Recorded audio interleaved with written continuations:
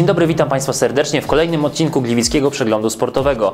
Dzisiaj opowiemy o zwycięskich dla Piasta derbach Górnego Śląska, zrelacjonujemy kolejną porażkę GTK Gliwice, zajrzymy też na Mistrzostwa Śląska w kickboxingu. Tomasz Czoik, zapraszam.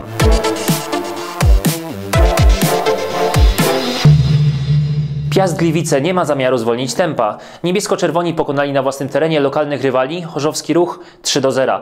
Bramki dla piastunek zdobyli Josip Barisic, Gerard Badia i defensor gości Mateusz Cichocki za sprawą trafienia samobójczego.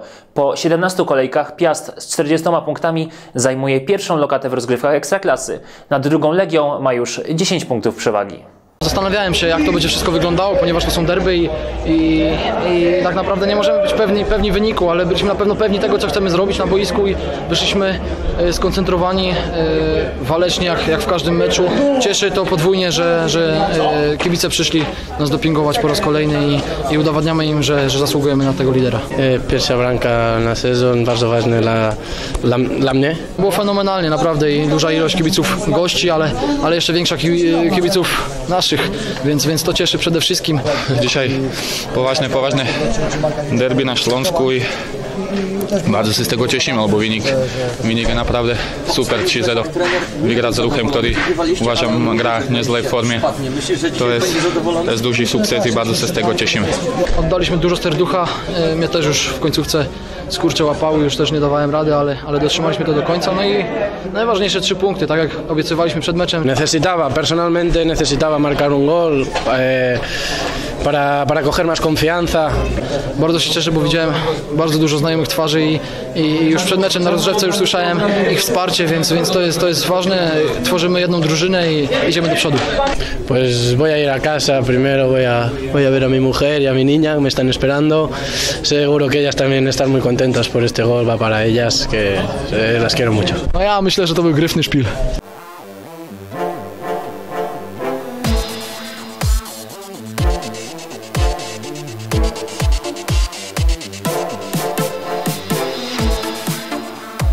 Już dziś o 20.30 kolejne śląskie derby. Piast Gliwice na wyjeździe zmierzy się z Górnikiem Zabrze.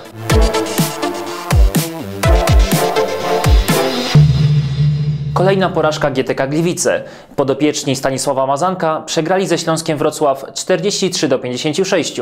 To już czwarte potknięcie Gliwiczan z rzędu. Po 12 kolejkach GTK zajmuje w tabeli pierwszej ligi 14 lokatę. Wojtek, dzisiaj byłeś e, najskuteczniejszy e, w swojej drużynie. Czy Ciebie to w ogóle cieszy, gdy przegrywacie? Oczywiście, że nie, bo zdobycze punktowe indywidualnie nie mają znaczenia. gdy W końcowym rozrachunku jest przegrana. Dzisiaj niestety zakończyło się naszym kolejną porażką ten mecz, więc nie ma się z czego cieszyć, myślę.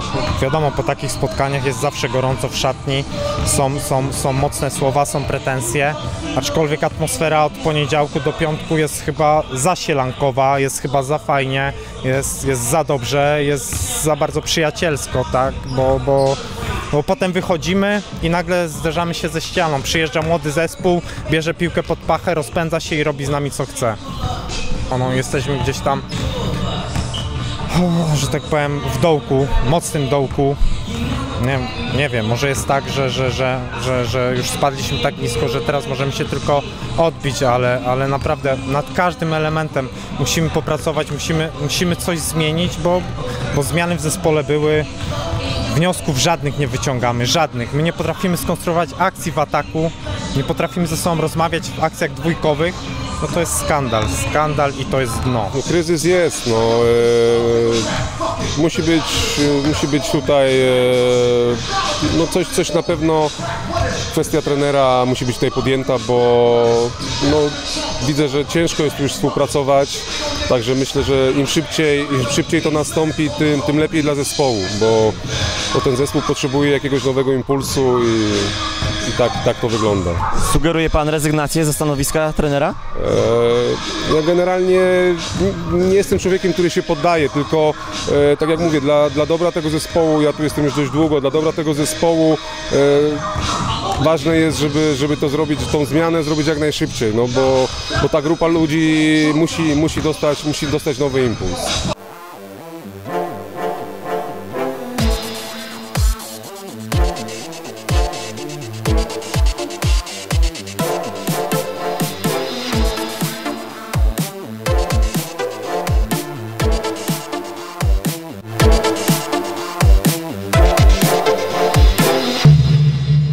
Sobotę w hali przy ulicy Kozielskiej odbyły się drugie Mistrzostwa Śląska w kickboxingu low kick. W zawodach rywalizowało ponad 40 zawodników w różnych kategoriach wiekowych. Imprezie towarzyszyła licytacja, z której dochód przeznaczony zostanie na leczenie dwuletniego Boryska. Witam na drugich otwartych mistrzostwach Śląska w kickboxingu w Lokikiem Federacji WFMC. Jaki jest poziom sportowy tego turnieju? Jest zdecydowanie wyższy niż rok temu. Mamy tutaj e, prawie 40 zawodników, ponad 40, jak dobrze pamiętam, około 50. Mamy dużo tutaj walk. E, jest poziom minimalnie wyższy. Fajnie, bo się cały czas rozwijamy. E, coraz więcej klubów e, dzwoni do nas, chce przyjeżdżać na takie mistrzostwa. Zawodnicy są tylko i wyłącznie ze Śląska? Nie, nie, nie. Mamy zawodników e, spoza Śląska, z Żegania, z Jeleniej Góry przyjechali, ze Zgorzelca są e, chłopaki i też tutaj e, głównie ze Śląska. Wodzisław Śląski był, e, fajna ekipa e, z Piekar Śląskich, Rybnik oczywiście, Knurów, gdzie cały czas z nimi współpracujemy. Zabrze teraz e, w tym roku do nas przyjechało, jest fajnie. A dlaczego ta gala zawitała do Gliwic? E, Michał Drożdż bardzo dobrze działa i współpracuje tutaj ze mną. Dlatego moja też obecność tutaj i klubów e, odległych po 300 czy po 400 kilometrów. E, I myślę, że należy się Gliwicom e, taka impreza. E, A wiem, że Michał szykuje jeszcze grubszą imprezę, już jesteśmy po wstępnych rozmowach, gdzie zobaczymy tutaj w Gliwicach galę zawodową. Także już na pewno, na pewno przyjadą do nas zawodnicy czy z Czech, czy z Niemiec. No i również z naszych klubów tutaj Polaków będziemy dopingować na walkach zawodowych. Niemniej jednak taka impreza też e, kształtuje charaktery, jest to impreza amatorska. e, No i tutaj wypatrujemy niejako talenty e, i kształtujemy tą młodzież i, i, i też dorosłych. Czy ta impreza może wpłynąć na wzrost poziomu kickboxingu w Gliwicach, tudzież na Śląsku? No mam taką nadzieję, że mm, po to robimy te imprezy, żeby pokazać, że przez sport właśnie, przez kickboxing, co tą sporty uderzane, ale jak publiczność tutaj zgromadzona, trenerzy, sędziowie widzą i, i Państwo również, e, to kształtuje też szacunek do przeciwnika. E, że nie tylko stojąc w bramie spędzamy czas, gdzieś jakieś używki, tylko właśnie przez sport można kształtować charakter dzieci, młodzieży, no i zachęcać. Także ja myślę, że na pewno, mam nadzieję, że wpłynie na wzrost tej liczby osób, również jak moje dzieci, kadetów i starszych, także zapraszamy na treningi, również i przede wszystkim też do Gliwic. To jest wspaniałe, że można zobaczyć, że młodzi mogą e, w ten sposób spędzać czas. Nie gdzieś tam pod blokiem, tylko po prostu na sali gimnastycznej. Jest to wspaniałe. Jest to coś dobrego i w tym wypadku można powiedzieć, że stop zwolnieniom z WF-u. Ale dzisiaj nie tylko sport dominuje, również e, miała miejsce licytacja charytatywna. E, Włączyliście się również w nią. Litka, jaka była Twoja rola? E, Moja rola w tym była taka, że przekazałam na licytację e, nasze e, klubowe złote rękawice z moim autografem.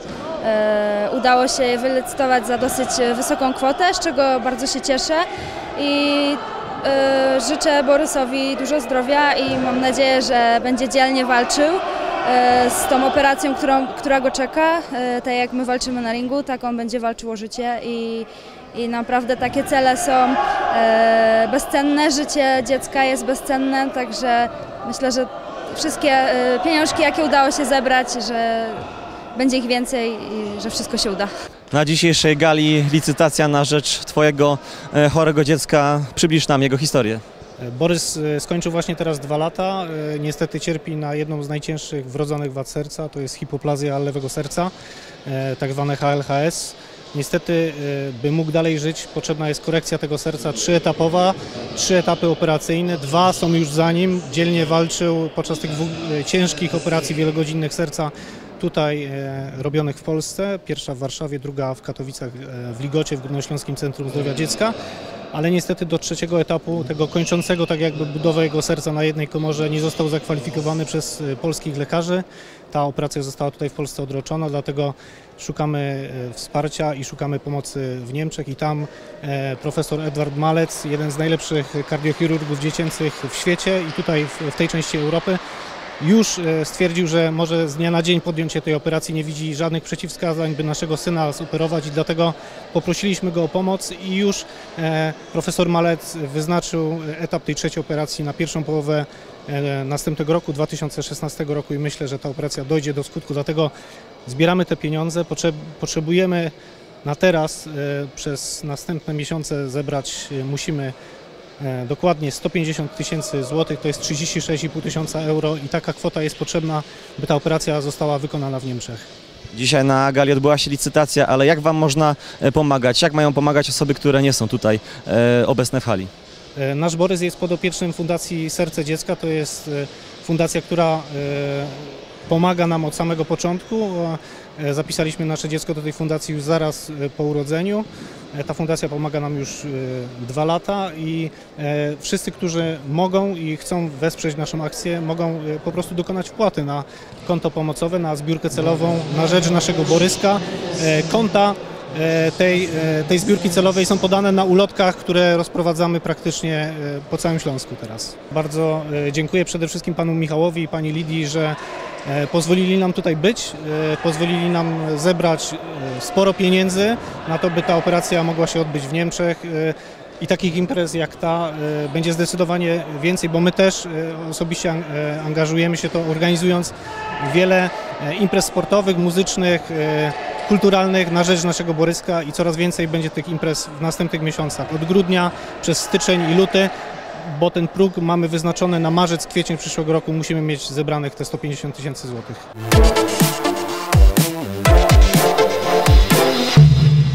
I to wszystko w dzisiejszym Gliwickim Przeglądzie Sportowym. Zapraszam na kolejny odcinek, który emitowany będzie już za tydzień we wtorek. Dziękuję za uwagę. Do zobaczenia.